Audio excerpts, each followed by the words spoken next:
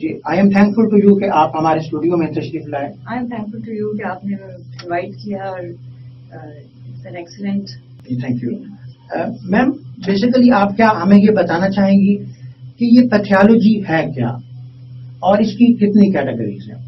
जी pathology basically अमराज का इल्म है. It's a study of diseases and it's the branch of medicine uh, deals with the causes and effects and the diagnosis of the diseases through uh, laboratory examination of the body fluids and body tissues. So इससे हम uh, जो भी मर्ज है उसके असरात और उनकी वजूहत और उनकी तशीस तक पहुँचते हैं लेकिन इसकी जो कैटेगरीज हैं वो तो बहुत सी हैं और क्लिनिकल लैब्स अब इतनी तरक्की कर गई हैं कि बहुत सी ऐसी जदीद मशीनें उसमें अवेलेबल होती हैं। बहुत से ऐसे जदीद तरीका तशखीस हैं। उस बारे में आप क्या रोशनी डालना चाहेंगे? जी इसकी काफ़ी ब्रांचेस हैं। दैट्स व्हाट यू मीन इसमें सात आठ ब्रांचेस हैं पैथोलॉजी की और डिफरेंट इसमें uh, उनका पूरी स्टडी है उनमें सब स्पेशलिटीज़ हैं। जैसे कि हिस्टोपैथोलॉजी है जिसमें मैंने स्पेशलाइज किया हुआ है। This is the pivotal branch of pathology जिसमें हम बॉडी सेल्स को और बॉडी टिश्यूज को एग्जामिन करते हैं अंडर माइक्रोस्कोप बॉडी सेल्स हम uh, कोई भी बॉडीली स्वेलिंग हो uh, जो कि रिग्रेस ना कर रही हो और परसिस्टेंट हो तो हम नॉर्मली ओपीडी में ही विदाउट एनेस्थीसिया नीडल से वो सेल्स एक्सट्रैक्ट कर लेते हैं और उसको माइक्रोस्कोप में एग्जामिन करते हैं कि उसमें कुछ कैंसरस प्रोसेस तो नहीं शुरू हो गया। तो इसके अलावा जो बॉडी टिश्यूज हैं, उसमें हमें सर्जन और और डॉक्टर्स जो कि सर्जरीज करते हैं बॉडी ऑर्गन्स और उनके पीसेस हमें भेजते हैं। उसमें हम चेक करते हैं कि कोई कैंसरस प्रोसेस तो नहीं स्टार्ट हो रहा, ताकि हम बर वक्त उसका तशीस कर सकें और उसका इलाज शुरू कर सकें। और ये भी इसमें पता चलता है कि आपके वो किसी जिसम के और हिस्से में फैल तो नहीं चुका। So histopathology is so important that uh, for a teaching hospital and a teaching medical college to be recognized, uh, a college has to has a histopathology department. ये histopathology department जहाँ होगा वहाँ teaching hospital और teaching medical college uh, recognize होता है इसके अलावा hematology है that is a very important field which deals with the blood related diseases and disorders और इसके अलावा इम्यूनोलॉजी है जिसमें हम बॉडी इम्यून सिस्टम जो हमारा कुत मुदाफियत है उससे रिलेटेड डिजीजेस स्टडी करते हैं। और इसके अलावा माइक्रोबायोलॉजी है which is very important microbiology में माइक्रो ऑर्गेनिजम्स स्टडी करते हैं जैसे बैक्टीरिया वायरसेस आजकल हर एक को पता है बैक्टीरिया और उनके ज़बरदस्त। अ, मैं ये चाहूँगा कि कुछ ऐसे टेस्ट हैं जिनके बारे में हमारे जो लिसनर्स हैं उनको थोड़ा नॉलेज हो जाए। कि उनकी एक्चुअल नेचर क्या है और उनसे कौन कौन सी ऐसे अमराज हैं जो डायग्नोज हो सकते हैं। तो उसमें सबसे पहले मैं ये चाहूँगा कि सीबीसी जैसा कि कॉमन ये कहते हैं कि कंप्लीट ब्लड टेस्ट होता है। उसे कराने का क्या मकसद है? जी, ये कंप्लीट ब्लड टेस्ट है as evident from the name इससे हम ओवरऑल हेल्थ असेस कर लेते हैं। We take sample from the patient हम ब्लड सैंपल लेते हैं। उसको उस पर हम टेस्ट करते हैं उसके डिफरेंट केमिकल टेस्ट और उससे हमें पता चल जाता है कि ब्लड में क्या पिक्चर है और ओवरऑल हेल्थ क्या जा रही है या अगर डिज़ीज़ प्रोसेस स्टार्ट हो रहा है तो uh, कौन सी नौयत का है? फॉर एग्ज़ाम्पल एनीमिया है जिसमें खून की कमी जिसको कहते हैं तो सीबीसी में उसका क्लू मिल जाता है कि एनीमिया हो रहा है। फिर उसकी आगे वजूहत हैं वो हम सेल्स को माइक्रोस्कोप में चेक करते हैं कि किस वजह से हुआ है। इस तरह ब्लड कैंसर है ल्यूकीमिया वो हमें सीबीसी से पता चल जाता है। और भी कोई इन्फेक्शन अगर किसी बॉडी में स्टार्ट हो गई है, वो हमें सीबीसी पता चल जाती है। फिर बाद में जब ट्रीटमेंट उसका लेते हैं तो वो ट्रीटमेंट वाकई पेशेंट पे असर कर रहा है कि नहीं, वो भी हम सीबीसी से फॉलो अप कर लेते हैं। So this is a base line test which is very important इसमें एक एलएफटी यानी कि लीवर फंक्शनल टेस्ट क्या है, और इस करवाने के क्या मकासद होते हैं? इस बारे में जी liver function test as evident from the name ये जिगर का uh, मुआयना है जिगर के uh, अमराज के लिए ये तशीस के लिए टेस्ट होता है। और uh, इससे हमें अंदाज़ा हो जाता है कि कैसा काम कर रहा है जिगर। उसमें कोई इंजरी तो नहीं स्टार्ट हो रही है उसकी कोई इन्फेक्शन तो नहीं हो गई। और इसका एक पूरा पैनल है लाइक उसमें ए एस टी टेस्ट है A L T A P T T albumin bilirubin direct indirect जिसमें सबसे ज़्यादा सिग्निफिकेंट है ए एस टी और ए एल टी एसपार्टेट ट्रांसमिनेस और एलामीन ट्रांसमिनेस ये uh, हमारे लिवर में नॉर्मली इंजाइम्स होते हैं। तो अगर कोई लिवर इंजरी हो तो ये इंजाइम्स ब्लड में स्पिल होने लग जाते हैं। सो तो इनके लेवल से हमें पता चल जाता है कि कुछ डिज़ीज़ प्रोसेस स्टार्ट हो गया। लेट से अगर हेपेटाइटिस को आप देखना चाह रहे हैं हमारे झंग में हेपेटाइटिस बहुत कॉमन है। Hepatitis C has a ratio of two in every ten person और हेपेटाइटिस बी हर दूसरे बंदे को आउट ऑफ़ फिफ्टी बंदों में है। तो दूसरा हेपेटाइटिस ए है ये खाने पीने के अशा से फैलता है ये बहुत कॉमन है due to improper hygiene of the cooks so इसकी तशीस हो जाती है ये S T L T levels raise होते हैं उसके बाद हम वायरल मार्कर्स चेक कर लेते हैं। तो इससे बड़ा क्लू मिलता है और ये बेस लाइन टेस्ट है और ये एनुअली कराना चाहिए ताकि पता चले। अब ये हेपेटाइटिस हमारे स्पेशली झांग में इतना कॉमन है। हमारे यहाँ एक गाँव है मुखियाना। वो हंड्रेड परसेंट इन्फेक्टेड है थ्रू हेपेटाइटिस सो ये हेपेटाइटिस ए है ये खाने पीने की अशिया से फैलता है। जैसे हमारे कुक्स हैं उनकी after using washroom they don't clean their hands और वही उसी खाने हाथों से वो खाने बनाते हैं तो ये टाइफॉइड हेपेटाइटिस ए बहुत कॉमन है, ये फैल जाता है। Hepatitis B C body secretion body fluid से फैलता है। जैसे हमारे यहाँ पर हजाम है barbers they use the same instruments on every one तो वो ट्रांसमिट करते हैं। इसी तरह ब्यूटी पार्लर्स में आजकल एक ही इंस्ट्रूमेंट यूज़ होता है, सब पे वो ट्रांसमिशन का कॉज बन सकता है। इसकी, इसी तरह हमारे पेरीफ्री में इतने वो हकीम वगैरह बैठे हुए हैं, जो कि इंजेक्शन को अनफॉर्चुनेटली दो के कितने पेशेंट्स को लगाते हैं। इसी तरह डेंटल प्रोसीजर्स के वक्त उनके इंस्ट्रूमेंट्स प्रॉपरली स्टरलाइज नहीं होते अक्सर, जिसकी वजह से ये इतना ट्रांसमिशन इसकी वायरल हो चुकी है।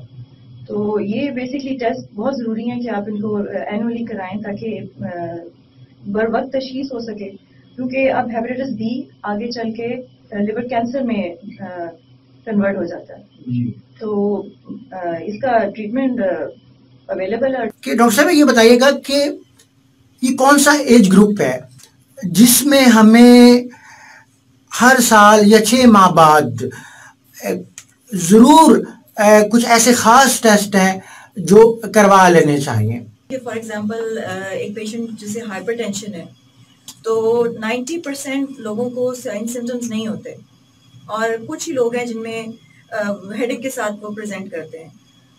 तो जो प्रेजेंट करते हैं with headache and sign symptoms they are lucky people because because of their symptoms they go to the doctor they get tested and they reach their diagnosis और उनकी बर वक्त तशीस हो जाती है, उसकी वजह से उनका इलाज हो जाता है उनकी डिज़ीज़ प्रोसेस नहीं स्टॉप हो जाती है। जबकि साइन सिम्टम्स ना होने पर लोग उसको लेके चलते रहते हैं और this can result in complication at any time for example अगर ब्लड प्रेशर हाई रहने की वजह से हाइपरटेंशन की वजह से स्ट्रोक हो जाए या परमानेंटली विजन इम्पेयर हो जाए तो इसका इरिवर्सिबल डैमेज हो सकता है। सो so, इसी तरह हमारे बॉडीली सिस्टम जो है वो चेक होते हैं through the blood test which are called base line test जिसमें C B C L F T R F T lipid profile screening आ जाती है hepatitis A B and C की। और hepatitis is so common specially in Jhang तो ये base lines हमें annually कराने चाहिए, ताकि पता चले कि साइन सिम्टम्स के बगैर तो नहीं कोई बंदा इनको लेके फिर रहा, ताकि उसकी बर वक्त तशीस हो, वो इलाज कराए और कम अज़ कम दूसरों को ट्रांसमिट ना करे। और आर्मी में ये six months every six months और एनुअली ये सारे बेस लाइन्स होते हैं। ईयरली चेकअप जबकि हमारे गवर्नमेंट सिस्टम में पहले ये रूल था कि सारे गवर्नमेंट ऑफिसर्स एनुअली चेकअप कराते थे, अपना डायग्नोसिस कराते थे, लेकिन लेटर ऑन ये सिर्फ़ कागज़ी कार्रवाई तक रह गया। और ऑफिसर्स जो हैं अपने फेक रिपोर्ट्स बनवाने लग गए। तो उससे क्या होता है कि अगर लेट से if a person is infected with hepatitis B और सी तो ना सिर्फ़ वो उसको पता है वो अपना ट्रीटमेंट कराता है बल्कि दूसरों को ट्रांसमिट कर रहा होता है इन्फेक्ट कर रहा होता है। तो बजाय इसके कि वो टाइमली उसकी डिज़ीज़ प्रोसेस पता चले और उसकी वो ट्रांसमिशन रुक सके वो आ, अपने डिज़ीज़ लेके फिर होते हैं उसके बाद कॉम्प्लिकेशन उनको भी हो जाती हैं। सोसाइटी के लिए बड़ा इंजूरियस है। So annual checkup is very important doctor साहब अब ये टेस्ट तो टेक्नीशियंस ने ही करना होते हैं। उसके बाद जो रिपोर्ट तैयार करना है वो क्या डॉक्टर का काम सिर्फ़ साइन करना है या ओवरऑल उस रिपोर्ट की डिस्क्रिप्शन जो है, वो भी मेंशन करना डॉक्टर की ही ड्यूटी होती है। जी, बिल्कुल डॉक्टर की ड्यूटी हर स्टेप पे आ जाती है। सैंपल कैसे लिया गया, किस पेशेंट ने अंडर विच कंडीशन ये सैंपल दिया है। Sample proper for example lipid profile आप 14 आवर फास्टिंग के बाद देते हैं। वो आपने प्रॉपरली उसमें वो इस तरह दिया है कि नहीं। सैंपल प्रॉपरली लिया गया है कि नहीं? उस पर मतलब प्रॉपरली उसको सही कंटेनर में डाला गया कि नहीं? मशीन में वो किस तरह उसकी अमाउंट कितनी थी जो गई है? मशीन कैसे काम कर रही है? उसमें कंट्रोल्स हम लगाते हैं ये ये ये डॉक्टर साहब की जी जी ड्यूटी होती है? पैथोलॉजिस्ट जो कि डॉक्टर होता है वो चेक करता है। इसके अलावा जो बाद में आपकी पैथोलॉजिकल रिपोर्ट आती है उसकी इंटरप्रिटेशन भी डॉक्टर्स करते हैं। फॉर एग्ज़ाम्पल प्रेगनेंसी में फिजियोलॉजिकल डाइल्यूशन हो जाती है। तो हीमोग्लोबिन कम हो जाती है। तो common person would just say that this is anaemia which is not a pathological, but in this case, in pregnancy, this is not a pathological process. तो इसी तरह बहुत सी चीज़ें हैं जिसकी इंटरप्रिटेशन प्रॉपर एक डॉक्टर ही कर सकता है। इसीलिए ये हमारा हेल्थ केयर कमीशन का रूल है कि the lab should not be run without the supervision of a qualified pathologist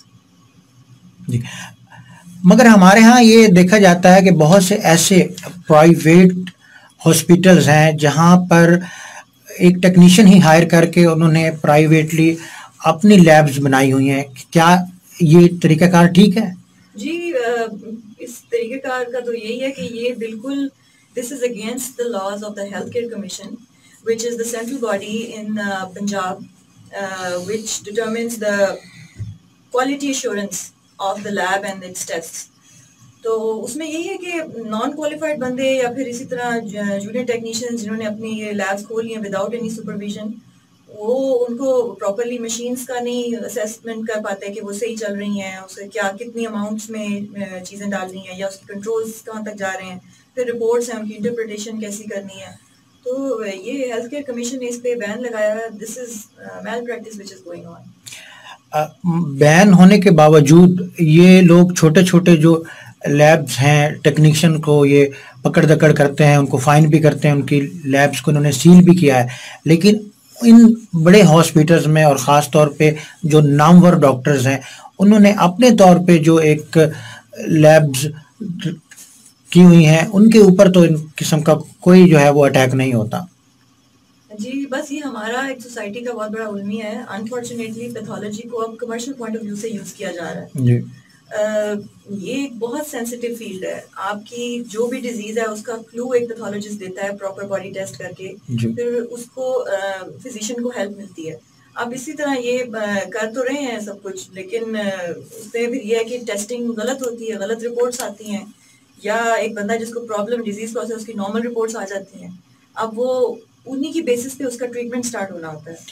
तो क्या आपके गवर्नमेंट में ऐसी पॉलिसी है डीएचक्यू में एम एस हैं या ओवरऑल जो आपकी कमीशन है वो इस तरह के अवेयरनेस प्रोग्राम करे या गवर्नमेंट ओवरऑल पब्लिक के लिए कुछ इस तरह के public service message on air कराए और सेमिनार्स करे जिसमें लोगों को अवेयरनेस हो कि इस तरह की जो लैब्स हैं उनके नज़दीक नहीं जाना चाहिए? जी बिल्कुल।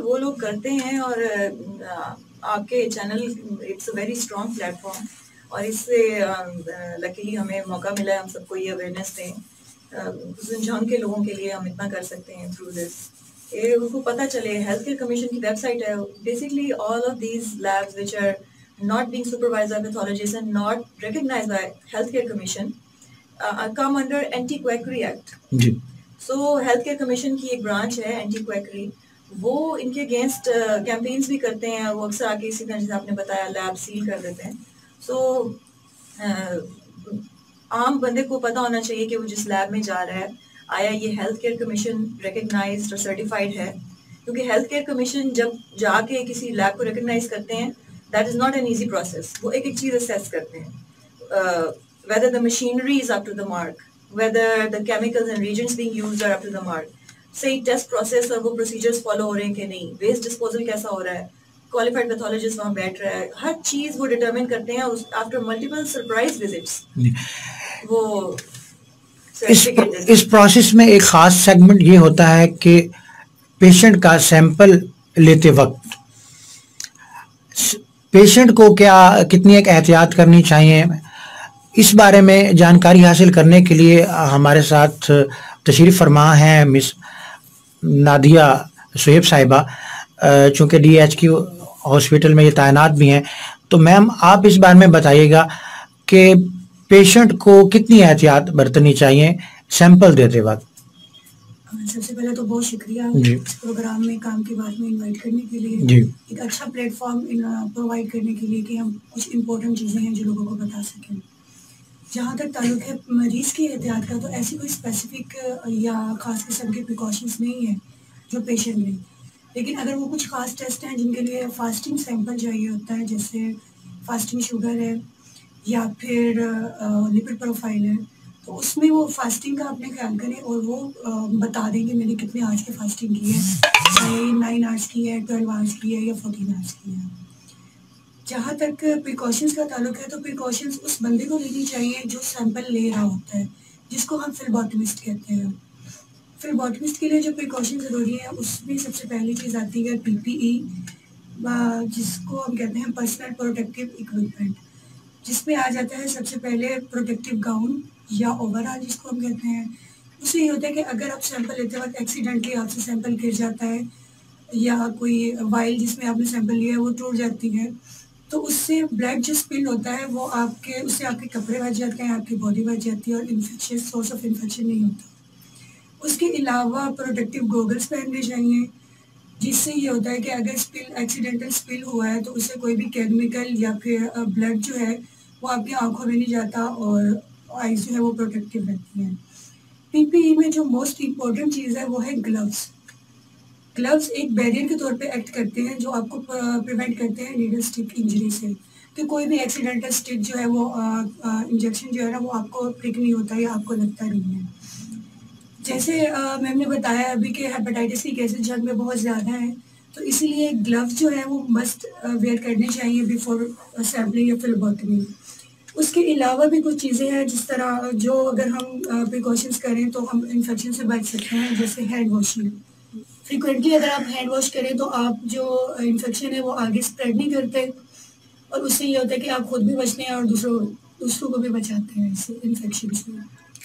गुड uh, जॉब uh, हमारे साथ यहाँ पे मुदसर इकबाल साहब भी हैं बड़े सीनियर टेक्नीशियन हैं डीएचक्यू हॉस्पिटल के भी और ये हेड ऑफ़ टेक्नीशियन हैं Mishal diagnostic laboratory Gujra road के भी। तो सर आप क्या हमें ये बताना पसंद करेंगे कि सैंपलिंग लेते वक्त टेक्नीशियन की क्या जिम्मेदारियाँ होती हैं? टेक्नीशियन की ज़िम्मेदारी, पहले तो पेशेंट को बिठा कर सैंपल लेना चाहिए। उसके बाद उसको ये बताना चाहिए कि ये आपकी इस टेस्ट के लिए मैं सैंपल ले रहा हूँ।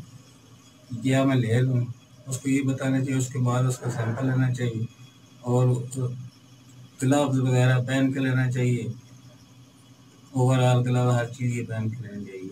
और सैंपल जिस के लिए मसलन दो तीन टेस्ट अलग अलग होते हैं उसके मुताबिक सैंपल लेना चाहिए।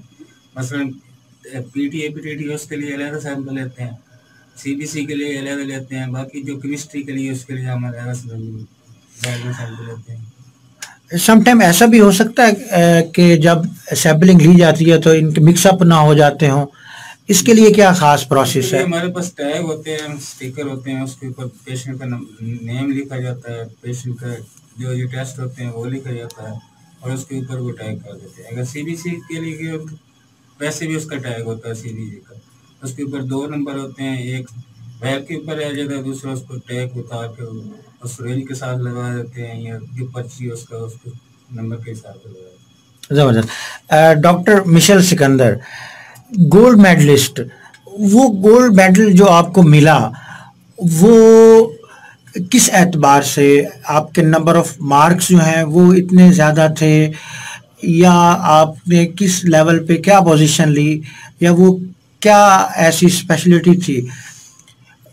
किसके ब्याह पे आपको गोल्ड मेडल नवाजा गया? Uh, ji that was basically on the marks and merit मैं university of health sciences Lahore से under supervision of my legendary professor doctor Abdul Hanan Nagi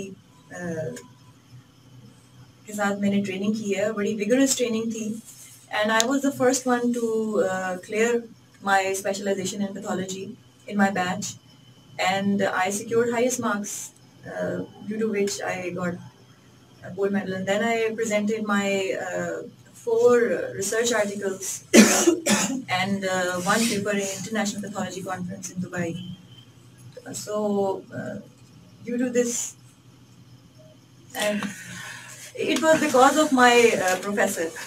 आपने सुना होगा शायद डॉक्टर अब्दुल हनान नागी या जो लोग पैथोलॉजी जानते हैं दे आर वेल अवेयर बहुत बड़ा नाम है उनका। जी बिल्कुल। ज़बरदस्त।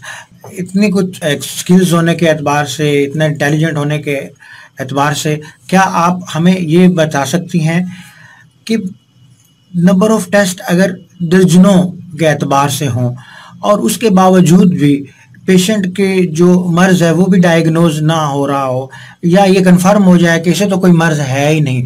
और उसके बावजूद जो है वो पेशेंट मुकम्मल सेहत याब भी ना हो पा रहा हो। तो आप इसे क्या कहेंगे? Well, uh, इसमें uh, दो कॉजेज ही हैं जो सामने आती हैं। या तो uh, कोई साइकोसोमेटिक प्रॉब्लम है जी। कि पेशेंट को कोई प्रॉब्लम ही नहीं है और वहम का मसला है। तो उसमें रिपोर्ट्स नॉर्मल आती हैं लेकिन पेशेंट को वहम होता है और वो इतना अपने ऊपर हावी कर लेता है कि उसको फ़िज़िकल सिम्टम्स डेवलप होने लग जाते हैं। But that uh, fit in any category of disease. But वो डायग्नोज हो जाते हैं साइकोसोमेटिक भी प्रॉब्लम्स जो हमारे बहुत सीनियर फिजिशियंस हैं वो they easily diagnosis and the other thing which is very common these days is the wrong reports जी जी। अक्सर ये जैसे अभी आपने पहले भी एंटी क्वैकरी हमने मेंशन किया कि यहाँ पर लेबोरेटरीज ने खोली हैं।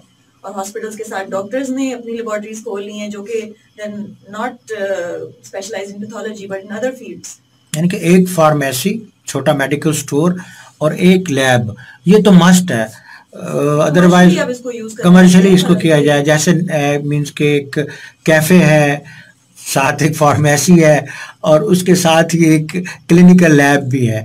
और वो क्लिनिकल लैब पर जो टेक्नीशियन होते हैं वो उनको हायर किया जाता है जिन जो कोई और काम नहीं कर सकते हैं या उन्हें कहीं और हायर नहीं किया जाता डिसेबल नहीं होते हैं उन्हीं को ये प्राइवेट हॉस्पिटल जो है वो अपने पास as a technician head hire करके और वो वहाँ के अपने जो पेशेंट्स हैं उनके टेस्ट करवाए जा रहे होते हैं और सोर्स ऑफ़ इनकम यस तो इस सिचुएशन में भी यही होता है कि वो the safest thing for them to give in the reports is the normal value तो जिस तरह आप कह रहे हैं कि नॉर्मल रिपोर्ट्स आ जाती हैं तो वो अक्सर ये भी होता है कि एक बंदा जो कि uh, जिस तरह अभी बहुत से हमारे यहाँ पे केसेस uh, हैं जो टेस्ट uh, परफॉर्म ही नहीं करते हैं और यहाँ पर हम सुनते हैं हर दिन यहाँ पर बल्कि यहाँ पे एक, एक एज अ जॉब भी ये चीज़ थी कि एक पेशेंट था तो उसका जब एक्सरे करवाया गया तो ऐसे पता चला कि उसके हार्ट के अंदर जो है वो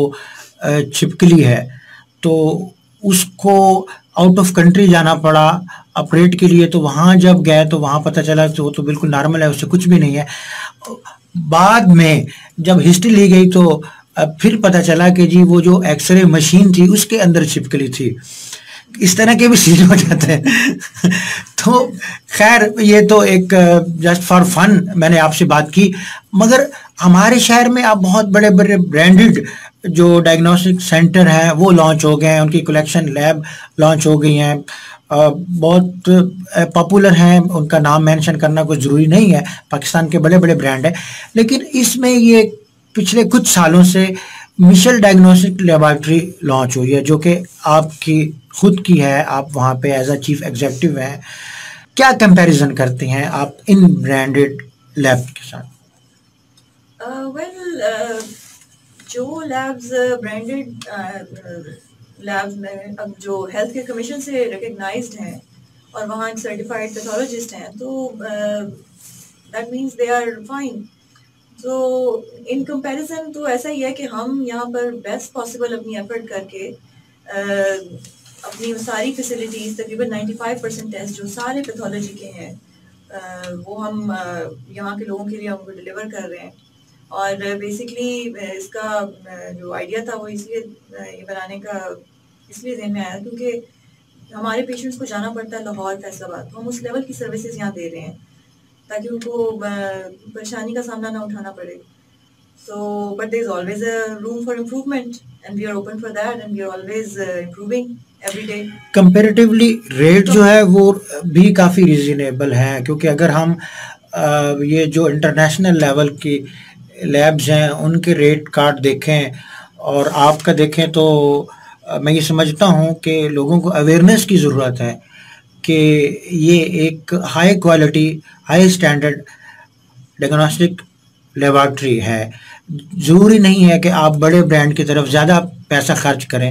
It is certified by health care commission ji. Recognise तो उन लोगों की टीम्स आई हैं उन्होंने विज़िट किया है and it got certified and recognised in one year I started it in last year और वो एक साल में ही हो गई। जबकि इस वक्त झंग में सिर्फ़ दो लैब्स हैं स्टैट लैब्स जो। कि रिकग्नाइज्ड हैं।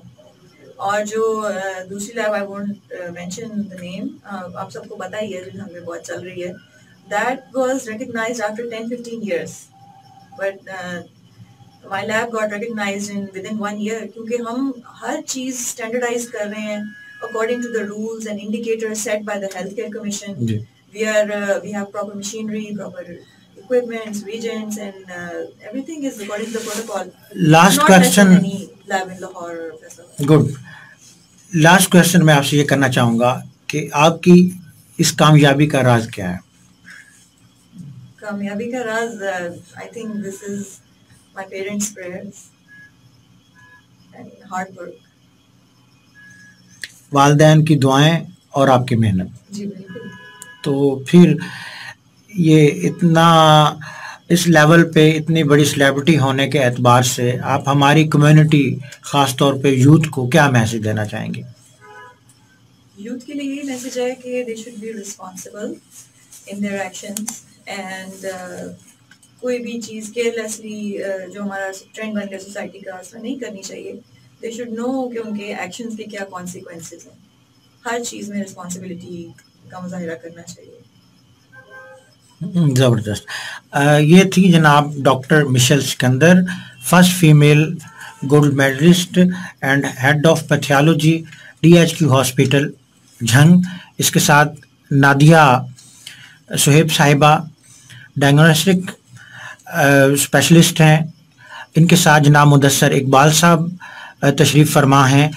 ये डीएचक्यू हॉस्पिटल के इंचार्ज हैं I think so as a technician incharge incharge means कि आप uh, जो मिशल डायग्नोस्टिक लेबॉर्ट्री है उसके भी आप टेक्नीशियन हेड हैं और डीएचक्यू uh, हॉस्पिटल में भी आप एज अ टेक्नीशियन हेड ही फ्राई सर अंजाम दे रहे हैं। Uh, ज़बरदस्त। मैं चूँकि बीच में कुछ थोड़ा कंफ्यूज भी हो रहा था कि कहीं मैं आपका एक ही जो डेजिग्नेशन है वो मैं दोनों साइड्स पे तो अनाउंस नहीं कर रहा। लेकिन अल्हम्दुलिल्लाह कि मुझे कंफर्म हुआ कि कहीं जो है वो मैं मिस्टेक नहीं कर सका। Anyways listeners Awaz F M एक सौ पाँच के लाइव स्टूडियो से आप सुन रहे थे प्रोग्राम काम की बात। और इस इंफॉर्मेटिव मोटिवेशनल प्रोग्राम को आप तक पहुँचाने के लिए हमारा साथ दिया था officers school system and officers science college Jhang ने। इनशाला नेक्स्ट थर्सडे एक नई सेलिब्रिटी के साथ, एक नए अनुमान के साथ फिर से हाजिर खिदमत होंगे। तब तक के लिए आसिफ इकबाल को इजाज़त दीजिए। सुनते रहिए आवाज़ एफ़ एम एक सौ पाँच।